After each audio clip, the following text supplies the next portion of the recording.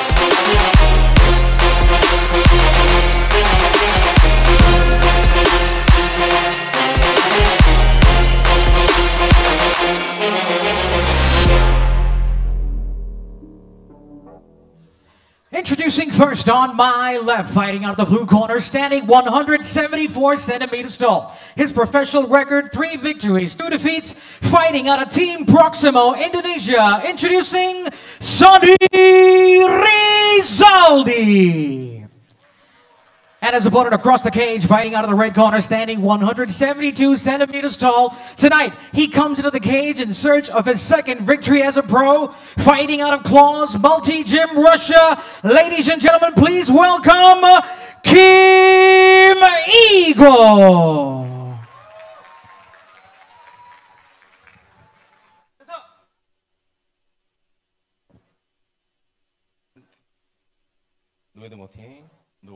Shoulder, normal blow. Don't need back head, back body. Don't grab the case, glove, pinch. Okay? Okay? Average five, touch glove.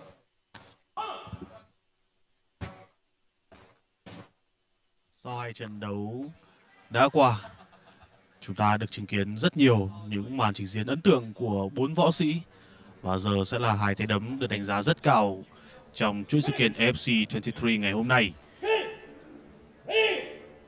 Và trận đấu giữa Sony Rizandi và Kim Igor đã bắt đầu. Kim Igor, võ sĩ mang quốc tịch Nga, là người thi đấu ở góc đai đỏ và Sony Rizandi, đại diện của Indonesia, là người thi đấu ở góc đai xanh. một cú đá thấp mở màn của Sony Rizandi. Có thể thấy Kim Igor đang tìm cách sử dụng các đòn đánh uy lực của mình nhằm chế áp tinh thần của đối phương.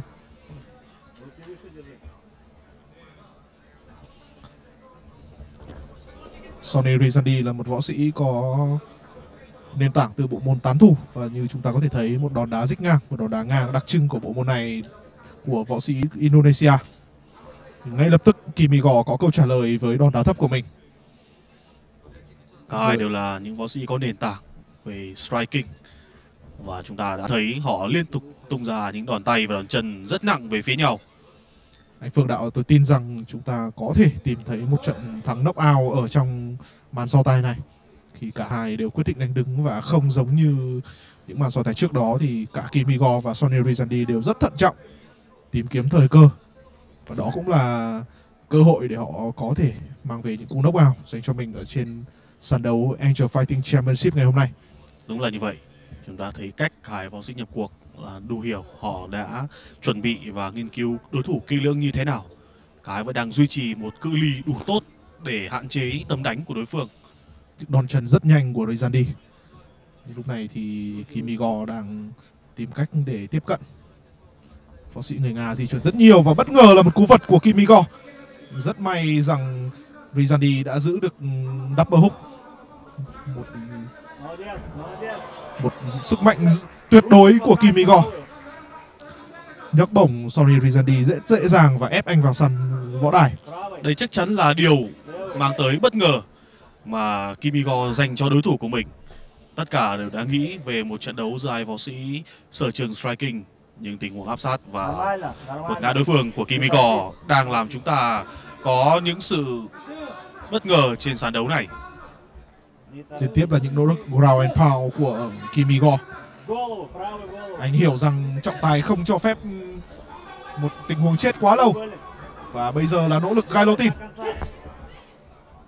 Chính xác hơn là một nỗ lực um, giết Anaconda và lên mau thành công từ Kimigo. Rất bình tĩnh, rất khôn khéo. Anh phải cẩn thận khi một chân của mình đang không kiểm soát được thân người đối phương. Liệu có bắt được vào triangle hay không? Rất khó và ngay lập tức Sonny Rizadi tận dụng được sai lầm của đối phương. Rizani cũng cho thấy kinh nghiệm của mình. Anh không để cho hai chân của Kim Igor có thể tiếp xúc với nhau và tạo ra thế khóa. Bây giờ thì vị trí tốt hơn lại dành cho Sonny Rizani.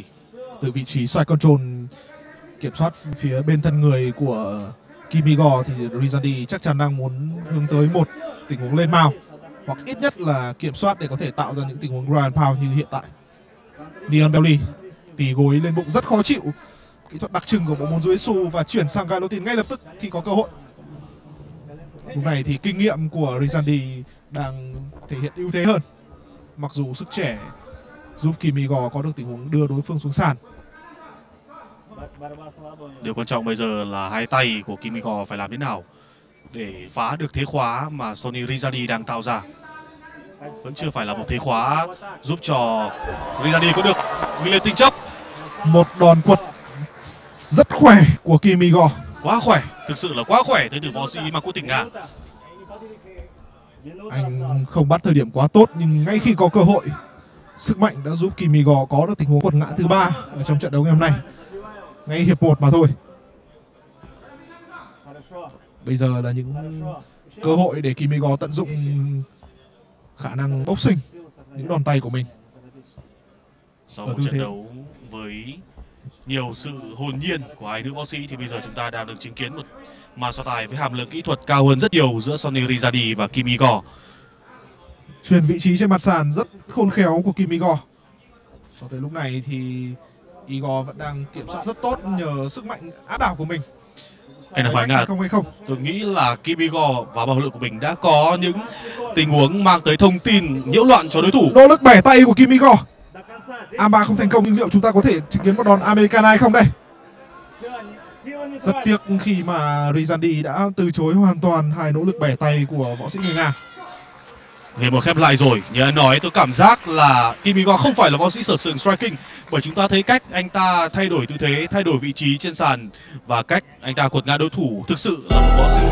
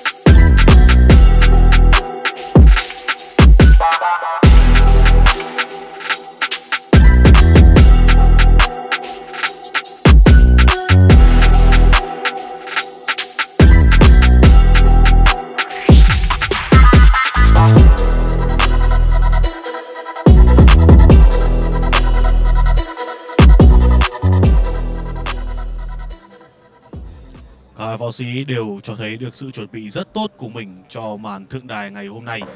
Về phía Kimiko, anh là người chủ động trong tình huống áp sát và quật ngã đối thủ. Ôm ghì cũng như là tìm ra những thế khóa. Trong khi đó thì Sonny Rizadi lại tỏ rõ sự kinh nghiệm của mình trong việc thoát ra những pha tấn công của đối phương. Điều tôi đang thắc mắc trong lúc này là chiến thuật của cả hai sẽ như thế nào sau khi đã một phần nào đó biết được bài vở của đối phương. Khi mà Rizandi chắc chắn không muốn trận đấu phải lôi xuống mặt sàn một lần nữa. Dường như lúc này thể lực của Kimigo vẫn khá dồi dào. Anh biết được mình có thể ép được đối phương, đặc biệt trong các tình huống quật ngã và đẩy đối phương ra sẵn lồng. Ý đồ, phong cách thi đấu đều đã được thể hiện trong hiệp đấu đầu tiên. Nhưng vấn đề là chúng ta đã thấy Kimiko khỏe như thế nào. Một thể lực và một sức mạnh cơ bắp tuyệt vời đã giúp cho anh hai lần quật ngã đối phương ở trong hiệp đấu đầu tiên. nỗ lực ừ, chấn áp tinh thần lại đến từ Kimigo. Lúc này thì Sonny Rizandi chắc chắn đang cân nhắc việc sử dụng các đòn tay hay là các đòn chân khi mà một khi anh quyết định nhấc chân lên thì Kimigo hoàn toàn có thể thực hiện được cú thích đào tiếp theo. Trọng tài đã phải nhắc nhở hai võ sĩ tích cực thi đấu hơn, tích cực giao tranh. Cường độ thi đấu tại FC là lớn hơn rất nhiều so với nhiều sự kiện võ thuật tổng hợp khác. Họ buộc phải ra đòn liên tục và không có quá nhiều những toan tính dành cho bản thân để có thể câu cáo thời gian hay là tính toán thể lực đây cũng là một trong những điểm gây tranh cãi của rất nhiều giải đấu MMA trên thế giới rằng có nên trọng tài có nên tích cực can thiệp để các võ sĩ phải sử dụng các tình huống tấn công nhiều hơn hay không trong khi MMA là một môn tính toán về kỹ chiến thuật rất cao các võ sĩ cần rất nhiều thời gian để thiết lập được những tình huống của mình Tất nhiên chúng ta sẽ có hai góc nhìn. Với vị trí khán giả, đương nhiên họ không muốn một trận đấu diễn ra với một nhịp độ chậm, Cavosi tính toán quá nhiều và đây là điều mà chúng ta đều mong muốn liên tiếp là những pha ra đòn. Những đòn tay của cả hai võ sĩ và một lần nữa thì Kimigo đã đưa Sonny Rizadi xuống sàn. Một tổ hợp rất đẹp mở màn bằng một đòn tay tiếp nối một đòn gối và áp sát một đòn quật judo tới từ Kimigo nhưng lúc này Sonny Rizandi mới là người tận dụng được sai lầm của đối phương. Khi không thể khi Kimigo không thể kìm chặt được anh xuống sàn. Ban huấn luyện của Sonny Rezadi đang yêu cầu anh di chuyển vòng ra phía sau thoát khỏi cái chân của Kimigo và lại là side control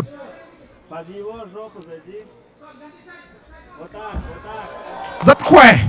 Thực sự là rất khỏe của tới từ Kimigo và chúng ta cảm nhận rõ Kimigo có được sự tinh tế trong việc tính toán về chuyển động của đối thủ để lựa chọn thời điểm. Nhưng bây giờ thì Rizani lại lên trên rồi. Theo tôi thì Kimigo cần phải tỉ mỉ hơn, không chỉ các, là các tình huống đẩy hông lật ngược người như vừa rồi. Anh cần giữ được lợi thế. Bởi vì hiện tại thì, theo tôi thì lợi thế về thế trận vẫn đang nghiêng về Kimigo nhưng anh cần phải tính toán nhiều hơn, cẩn trọng rất nhiều. Không thể để phung phí thể lực. Tư thế Clogas, khi mà Kimigo đang kẹp chặt người của Sonny Rizandi đã khiến trọng tài phải tách ra khi cả hai không có những tình huống tấn công cụ thể. Trận đấu còn gần 2 phút nữa. Lúc này chúng ta thấy là thể lực của cả hai đều vẫn đang được duy trì ở mức tốt. Và thêm một lần nữa thì Kimigo lại đưa đối thủ xuống sàn để thi đấu. Thực sự là một quyết định khá thông minh của Sonny Rizadi khi chủ động ngã xuống không để Kimigo tiêu hao thể lực của mình bằng một cú quật. Lúc này thì Rizadi đang cố gắng đẩy chân của mình vào hông để tách Kimigo ra, hạn chế cơ hội ra những đòn ground foul như thế này về của Kimigo.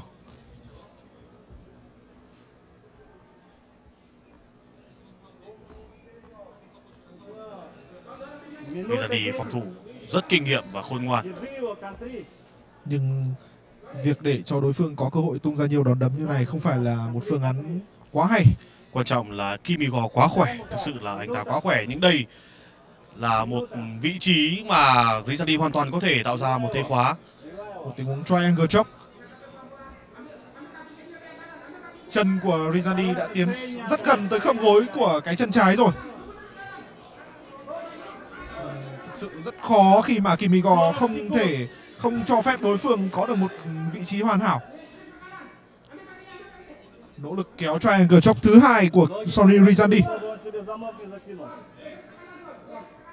Lúc này thì Rizadi cần phải xoay người về phía bên trái của mình.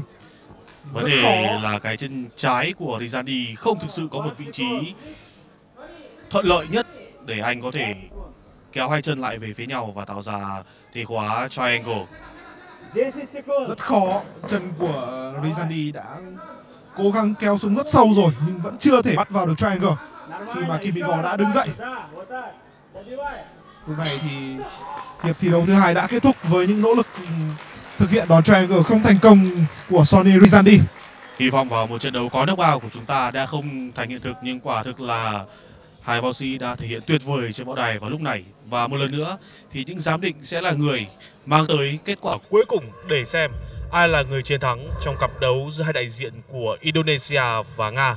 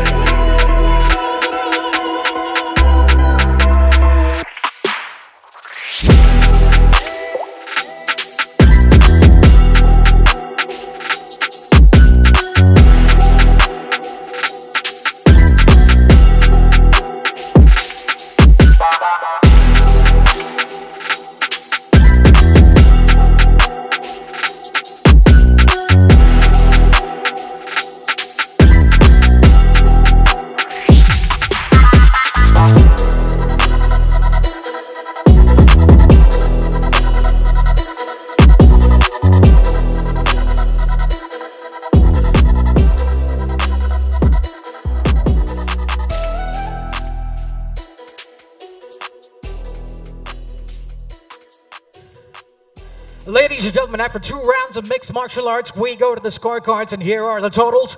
All three judges have scored the bout, unanimously declaring your winner by way of unanimous decision from Russia, Kim Eagle. If you don't keep it moving, you're gonna die. You gon' die. To stay alive. Stay alive. The weak are praying, only strong survive. About your life. Yeah, you some business. Ain't moving, then you stay losing. If you don't adapt, you get a body bag. I'll be the first to give it out if you gotta ask. This a competitive market, leave you beheaded. The target is where you headed. I'm sparking and leaving dead in the darkness. I got a head and it's hard to even try to compete. I gotta eat in a week. I get plenty but starving. Keeping my pet in the carpet. See me just pedaling farther. Everybody that ever said they were harder, I just led up to the end like a martyr to the end of the internet. I could get into that like in internet innocent. Cause they too dumb and they ignorant. I'm like, yeah, knowledge is power. And I look like I got the upper hand. Oh, yeah. Plus, I gotta keep it moving. Y'all just do the running, man. What is you that? You keep it moving, you're gonna die. You gon' die. Running, pretty, got to stay alive. Stay alive. The weak are praying, only strong survive. Strong survive. Tell me how you feel about your life.